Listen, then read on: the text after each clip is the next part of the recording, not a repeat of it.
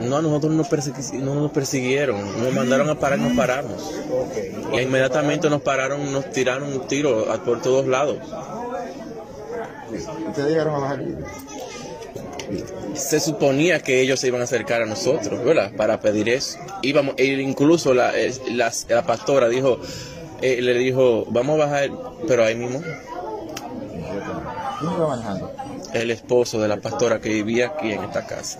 Dentro del vehículo había unos, unos lentes que dicen que pertenecía a la pastora, pero estaba del lado del conductor. Ah, yo, bueno, sí, de ella, sí, de ella, sí. ¿Y cuando empezaron los disparos, qué hicieron ustedes? Bueno, nosotros que estábamos detrás, eh, nos tiramos, no, nos agachamos en el vehículo abajo. Pero a lo de adelante no le dio tiempo porque ellos le tiraron primero a ellos. ¿Iban en la parte de atrás de Detrás del, del, del conductor iba yo. Entonces el otro que está herido. Ajá, iba detrás de la pastora. ¿Y está herido en la espalda? En la espalda, sí.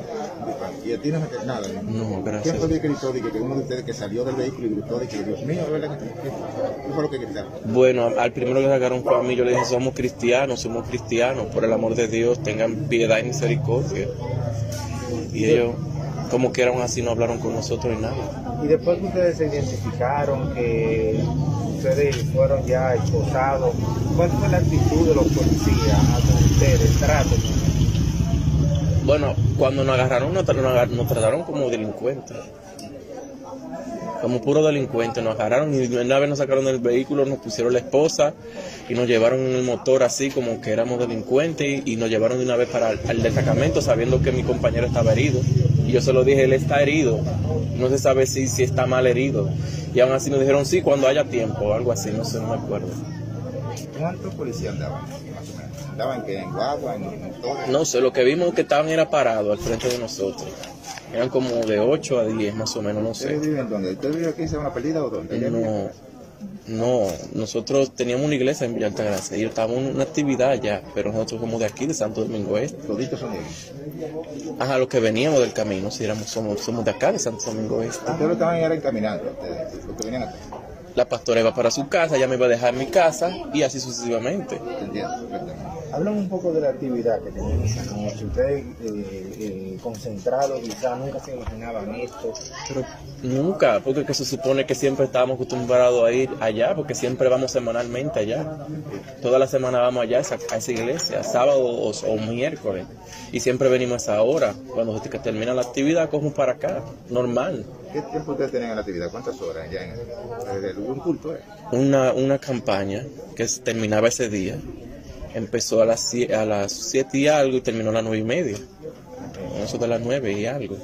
Y ya nos quedamos ahí un rato compartiendo y luego eh, eh, pues procede- procedimos a coger para acá por, por lo del mismo toque de queda. Eso es monado, un sitio que le llaman de que los ganchos. Los ganchos. Eso todavía pertenece a Villa Altagracia. Pero sí, exacto. Eso queda cerca de la cumbre allá. ¿Cómo te ha afectado todo esto? Imagínese, ¿qué le puedo decir? Todavía pensando siempre y siempre y siempre pensando lo mismo. O todavía oigo los disparos. ¿Qué edad tú tienes que te dedicas? ¿Eh? ¿Qué edad tienes que te edad 32 años. Eh, soy estudiante? ¿De qué? de ingeniería industrial ¿En qué universidad? en la UAS. ¿Y los cuerpos de ellos estaban vivos? O sea, cuando le hicieron los disparos, estaban... ¿Eh? Cuando le- luego de dispararle, ellos...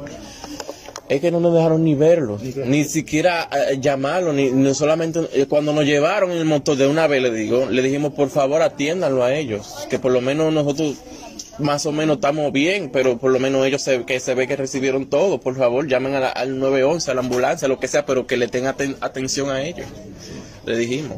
¿Alguno te? ¿Cuáles serían las Claro. últimas palabras de ellos cuando tú pudieras escuchar?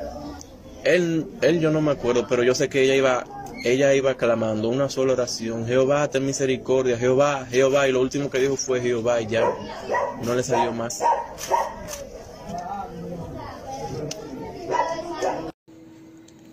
Sus últimas palabras fueron, Jehová, ten misericordia. Jehová, ten misericordia. Qué fuerte.